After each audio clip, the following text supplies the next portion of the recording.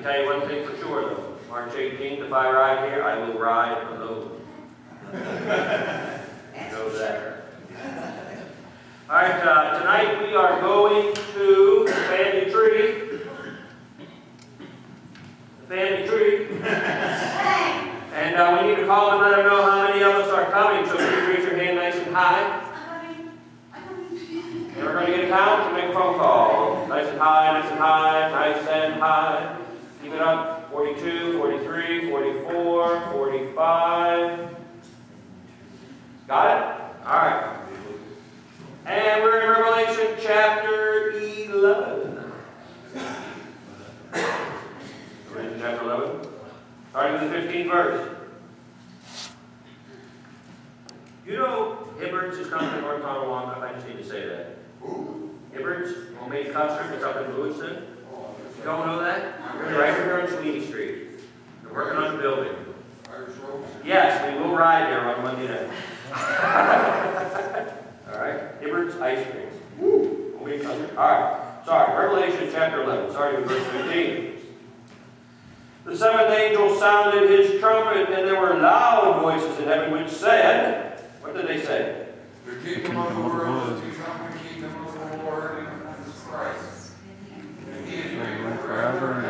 Thank you. I want to point something out there. It's a fulfillment, fulfillment of Joel chapter 2, verses 1 and 2, which reads, Blow the trumpet in Zion, sound the alarm in my holy hill, let all who live in the land tremble. The day of the Lord is coming. It is close at hand, a day of darkness and gloom, a day of clouds and blackness. Like dawn spreading across the mountains, a large and mighty army comes, such as never was in ancient times, nor ever will be in ages to come. The Lord inspired Joel to write that, and it's going to be fulfilled when Revelation chapter 11 is fulfilled. The seventh trumpet begins a wave of judgment. Now, I want to point out to you, kingdom of the world there in verse 15. Kingdom. You know, there's lots of rulers, lots of dictators, lots of kings, lots of presidents in the world, but there's only one ruler, one king, one kingdom of the world, and that is the Lord Jesus Christ. Amen. Amen. Thank you. Satan called the God of this world. Jesus called him the prince of the world. In fact, three times he called him that. But he is the king of the world. It says he'll reign forever and ever. So he's not going to be like a human ruler. Every dictator, every emperor, every king, every president eventually reach the end. Even Sun Myung Moon, founder of the Unification Church, said he would live forever. He lied. He didn't. He died last year. They all die. They're all deposed or replaced by somebody else. Or their term runs out. But not Jesus. He reigns forever. And the seven bowl judgments are revealed. These are the final, the awesome, the awful judgments of God.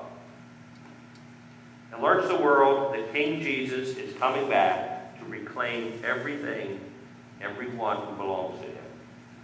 Here in Revelation, the seventh trumpet events, the seventh trumpet sounds and it brings to pass things that are really not going to be recorded until Revelation 15. All right? But it's telling us about it. The 24 elders in verses 16 and 17, who were seated on their thrones before God, fell on their faces and worshiped God, saying, We give thanks to you, Lord God Almighty, one who is and who was, because you've taken your great power and begun to reign. Heaven is rejoicing because Jesus is going to take possession of the world that was lost to sin and Satan thousands of years before this. You know, people have no reason to hate Jesus, but they do. You want to find out how much people hate Jesus? Bring him up in a conversation at work or at school. And they will hate you because of him. They don't have any reason to hate him. What do you ever do to anybody? Seriously, what do you ever do to anybody? He did things they couldn't do. He didn't ever do anything to someone. He never hurt anybody. But the world does hate him. They don't have any reason to hate him, but they do. Did you look at my notes? I have written typed right here. They do so because they are led by the devil. He's the ruler of this world today. He who is and who was, the Bible says. God's kingdom is an everlasting kingdom. He's always reigned. Now, it, you know, as you look around, you see all the horrible things that go on. It might look like Satan's in the driver's seat today. But always remember this. And if you need a reminder of this, just open your Bible sometime and read the book of Job. Satan is not allowed to do anything unless God lets him. God has his hand on the rein, okay? He even had to go to God, Satan had to go to God and ask permission to attack Job. And God said, Yes, you can do that. However, these are the limits I'm placing on you. Satan is under God's authority. Okay? Remember, Satan was created. God was never created. Jesus was never created. The Holy Spirit was never created. Satan and all the angels were created by God. Okay? 17th verse, God is called Almighty. You've taken your great power and begun to reign. Like I said, every human kingdom eventually falls or fails because it's built on limited power of humans. But God's kingdom was established by the one who holds all power. He'll never be overcome by the enemy. Now, there's a verb phrase in here for those of you, how many uh, people love to study Greek? That's what I thought. But I have to tell you, I have to explain this to you, okay? The verb phrase in here is in Greek is called proleptic aorist. And this is what it means. It should describe future events that are so certain they can be talked about as if they already happened. Okay? For example, my son has my car. He has it out past midnight. I could, could have said to him, as if it already happened, I brought you in the world, I'll take you out. Right?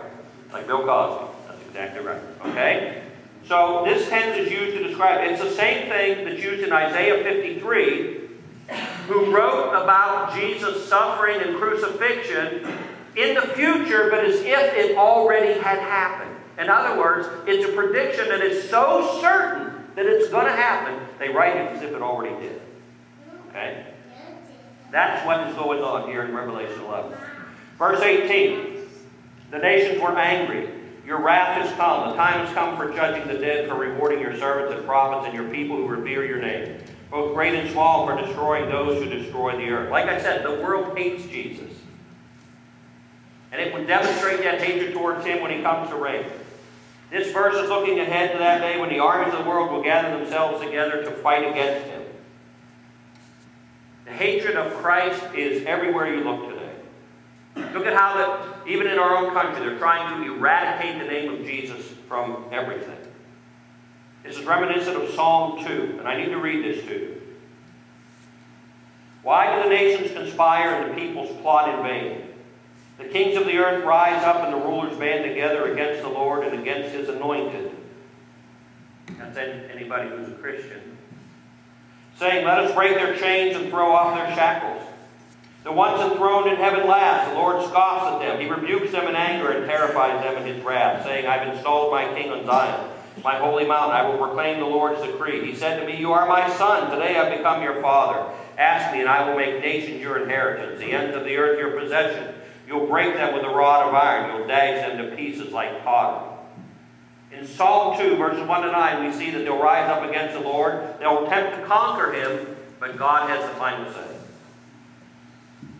And while lost sinners face the Lord in judgment, people who believe him will be honored for their devotion to him. I've said this in a few sermons before this. I want to keep repeating it because it bears repeating. Every act of devotion to God is noted by him. He notices. He's paying attention. And it will be rewarded. Nothing so small will be missed. In fact, Jesus even said, a cup of cold water given in my name. He notices everything we do for him, every deed done in his name, and he will reward us. Verse 19 God's temple in heaven was opened. within his temple was the ark of his covenant. There came flashes of lightning, rumblings, and peals of thunder, an earthquake, and a severe hailstorm. Now, this almost seemed out of place here in this chapter. It really doesn't seem to fit in with the rejoicing that's going on in heaven, but it's important to mention. There are two great realities because the temple's going to be back in place on Jewish ground, okay? And it talks about access. The open temple and the vision of the ark remind us that in heaven we'll have access to the Lord. You know, the Bible says now nobody can look on the face of God and live. Then you will be able to look on His face. Right? There won't be anything to separate us from Him. Then there's affirmation. The mention of the ark puts us squarely on Jewish ground. You see, the ark of the covenant for the Jew represented the presence of God. Okay, that's where he was. And it's reminding the Jews that God isn't finished with them. He'll complete his plan for Israel. Now, in the Bible, there are five different names for the ark. In Numbers 10.33, it's called the Ark of the Covenant because it contained the law. Okay? The Ark of Testimony is what it's called in Exodus 25 because it testified to God's holiness and our sinfulness. God's still holy. He hasn't changed, and we're still sinners. It's called the Ark of God in 1 Samuel 3.3 it was the only visible throne of God on earth. It reminds us that God is on his throne. In Psalm 132.8 it's called the Ark of Strength. And it's called that because of the miracles and great works associated with it. God is still mighty. And in 2 Chronicles 35.3 it's called the Holy Ark. And it was called that because it was where God dwelled. And reminds us that he's still alive and well. So verse 19 closes with premonitions of impending disasters, worse horrors than those we've seen thus far. Great. We've seen things from God's perspective. Now we're going to look at them from the devil's perspective. Starting with Revelation chapter 12, verse 1. The second half opens with an amazing vision of some great wonders in heaven. Tell you what, I'm looking at the clock. I'm thinking of how far we have to drive.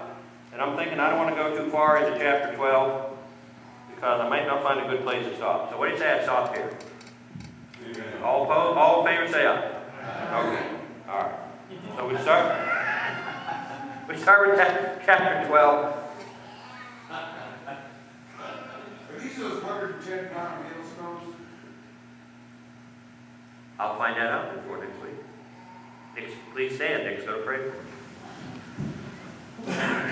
I like the first part of uh, when we read chapter 12, uh, referring to how the kingdoms of this world, well, the kingdom of this world will become the kingdom of our God, Jesus Christ.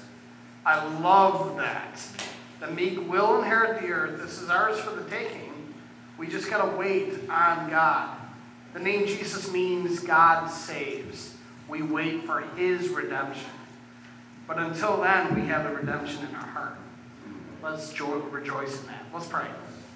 Thank you so much for what you gave us in your Son, Jesus Christ, our King, Jesus Christ. We thank you for the fact that you are going to inherit and you are going to share with us the earth, which is yours for the taking. And that those who destroy the earth will be taken care of in judgment. And that our enemies will eventually bow down and worship you because they will have to. But we thank you and we worship you, showing the world what it means to worship the one true God. In Jesus' name, we love you. Amen. Amen.